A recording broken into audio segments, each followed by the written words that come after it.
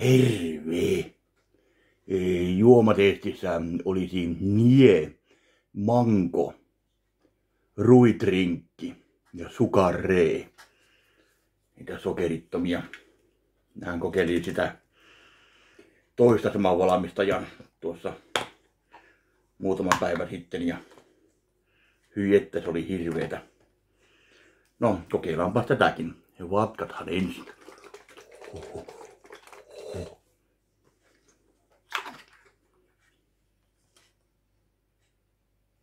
Tämä ei haise yhtä pahalta, mutta makuhan se ratkaisee.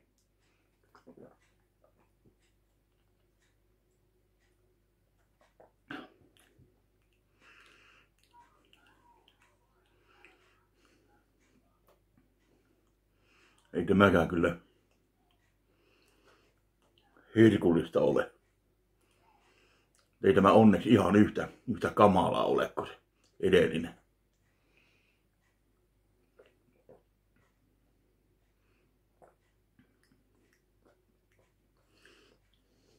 No, annethan tälle arvosanaksi peräti nyt 0,5 kautta 5.